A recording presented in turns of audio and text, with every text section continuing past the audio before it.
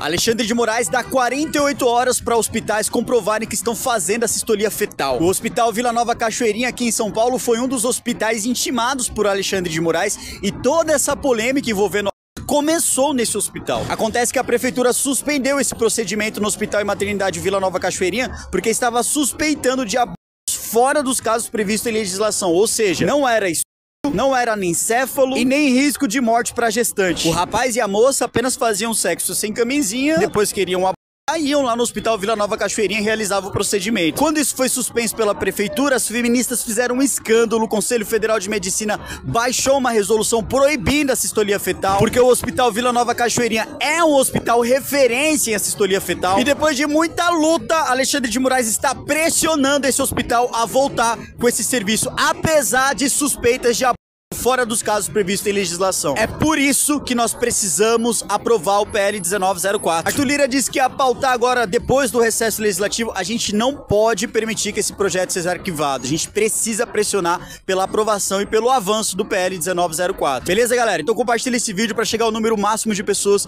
e vamos trabalhar em defesa da vida. Forte abraço. Eu sou Douglas Garcia, pré-candidato a vereador por São Paulo. Se você concorda comigo, curta e compartilha esse vídeo.